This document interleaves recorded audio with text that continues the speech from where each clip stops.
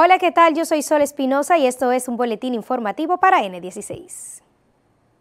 El neurocirujano José Joaquín Puello Herrera manifestó este miércoles la necesidad de que la población respete el estado de emergencia que busca imponer nueva vez las autoridades para controlar la pandemia del COVID-19, que pasa de los 900 fallecidos.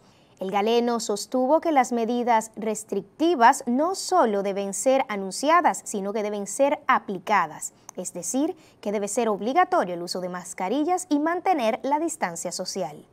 Este jueves se conmemora el 17 aniversario del fallecimiento de Celia Cruz, una de las figuras de trascendencia en la música latina del siglo pasado, su nombre figura además, se inscribe en la lista de las celebridades que se exiliaron con el acceso al poder de la Revolución cubana al mando de Fidel Castro. Su voz de contralto que impuso como intérprete de la Sonora Matancera, una banda que ganó fama, al salir al exilio a Estados Unidos, Celia Cruz emprendió su camino en solitario y estableció vínculos con los líderes de la industria de la música latina a la cabeza de la Fania All Star.